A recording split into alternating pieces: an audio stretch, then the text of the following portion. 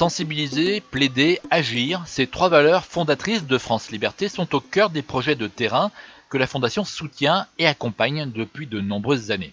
Depuis 2017, ce sont quatre combats qui ont ainsi été aidés en Équateur, en Uruguay, en Afrique subsaharienne et aux États-Unis. Quatre projets qui œuvrent pour le droit à l'eau et contre les activités extractives. Bonjour Justine Richer. Bonjour. Chargée du programme Eau bien commun à la Fondation France Liberté. Alors nous avons évoqué avec vous la semaine dernière les projets que vous avez suivis aux États-Unis et en Uruguay. Direction cette semaine l'Équateur où vous avez soutenu les communautés locales qui se sont mobilisées pour dénoncer les pollutions dues aux activités pétrolières. Et quel est l'état des lieux? Oui, les impacts de l'extractivisme sur l'environnement sont toujours très lourds. C'est vraiment des conséquences en termes de, de pollution euh, des écosystèmes, de pollution de l'eau, et euh, c'est le cas en Équateur. L'ONG Action Ecolorica travaille au renforcement des capacités des communautés pour essayer de lutter contre, contre ça. Action Ecolorica a, a créé une organisation locale qui se réunit régulièrement et interpelle les autorités. Ça fait 30 ans que l'ONG travaille sur ces problématiques liées à la pollution causée par l'exploitation du pétrole en Équateur. Une assemblée sociale permanente des communautés affectées a été créée et euh, Action Ecolorica travaille régulièrement en co-construction avec les populations locales euh, pour les renforcer. Donc 25 communautés euh, ont été euh, structurées pour pouvoir parler d'une seule voix et pouvoir réclamer leurs droits humains à l'eau euh, face à, à, ces, à, ces, pollutions massives de l'eau en Équateur à cause de l'extraction du pétrole. Donc les citoyens prennent part au débat, sont écoutés par les entreprises et les autorités locales grâce à cette, cette structuration permise par Action Ecolorica. Alors ils sont écoutés par les entreprises et les autorités. Euh, concrètement, quels sont les effets sur ces activités? Il y a un vrai euh, enjeu de, de, transmission et de diffusion des informations, notamment sur la qualité euh, de l'eau euh, en Équateur. Donc ces, ces, paroles de communauté sont entendues puisque justement en essayant de s'allier et, et, former une communauté plus massive, euh, évidemment l'écho euh, de leurs paroles est plus fort et est nécessairement entendu euh, par les entreprises et les autorités. Après, la prise en compte diffère des cas, mais il est certain que cette capitalisation des expériences et ce renforcement communautaire permet d'avoir un poids plus fort. Alors pour se faire entendre, pour dénoncer, pour revendiquer, les populations ont besoin aussi d'être informées. C'est le cas en Afrique subsaharienne.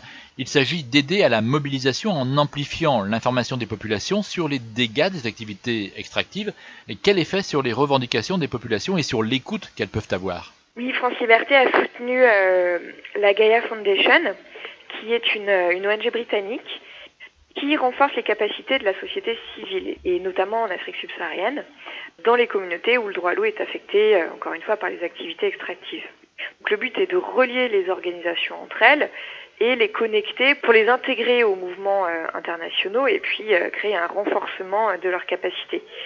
Donc pour ce faire, euh, des dialogues communautaires ont été organisés sur les zones affectées et euh, Gaia Foundation a également produit euh, du matériel d'information en plusieurs langues, plusieurs supports, des rapports, des affiches, des vidéos, dans le but de sensibiliser les acteurs locaux. Donc le tout a été réuni pour créer un kit de mobilisation qui permet d'éclairer sur les impacts de l'industrie extractive sur les ressources en eau et puis s'informer. Donc ce kit de mobilisation et d'information est essentiel pour les populations locales puisque la première euh, étape pour pouvoir euh, se mobiliser est d'être informé des menaces que représentent ces activités pour construire une mobilisation locale. Et aujourd'hui, les populations se prennent entre guillemets euh, plus en main pour aller revendiquer? Oui, donc ce kit de mobilisation a été largement diffusé en Afrique subsaharienne, mais également dans d'autres pays d'Amérique latine, d'Asie et d'Europe. Et ça permet vraiment d'informer un maximum les populations, de créer une mise en lien, une mise en réseau qui, encore une fois, permet finalement un renforcement de la mobilisation pour avoir un poids plus fort. C'est un petit peu le même principe que euh, sur d'autres projets soutenus euh, par France Liberté, puisqu'on croit sincèrement euh, en cet effet de, de, masse et de mise en réseau qui permet finalement d'avoir une voix plus forte euh, et d'être entendu par euh, à la fois les autorités et les entreprises extractives. Alors ces actions locales ont maintenant leur propre vie, le financement que vous leur apportez se termine. Vous allez malgré tout continuer à avoir un œil dessus, à, rester en appui? Oui, absolument.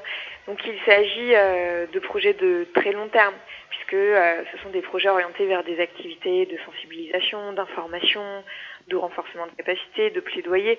Donc on est vraiment sur euh, sur du long terme.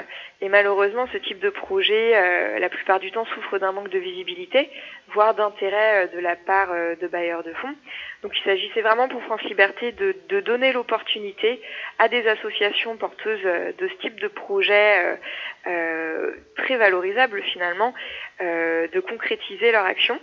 Donc bien sûr, on va continuer euh, à suivre ces quatre structures et puis à tenter de leur donner un maximum d'écho euh, via de la communication notamment et de la mise en réseau pour essayer euh, d'aller vers leur duplication peut-être sur du plus long terme.